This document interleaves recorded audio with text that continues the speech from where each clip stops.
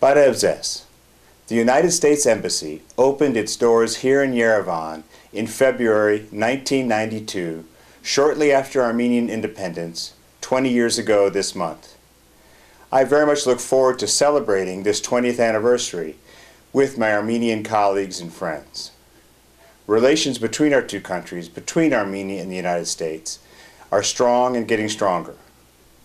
Our high-level dialogue has never been closer, including at the level of President Sargsyan and President Obama. Secretary of State Clinton's visit to Armenia in 2010 was a demonstration of our commitment and our friendship.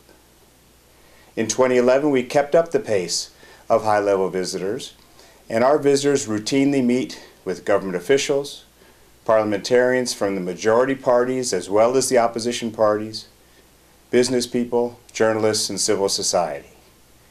Our relationship is deep and broad.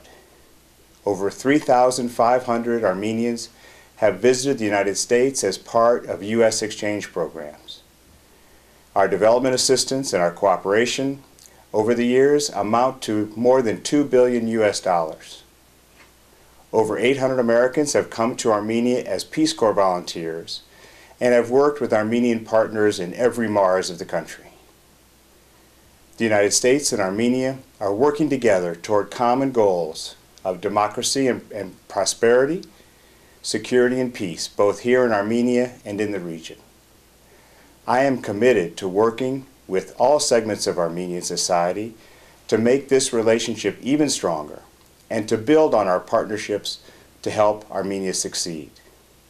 Our future together is bright. Hayastana Yevameregan Miasin Unen by Tsar Apaga.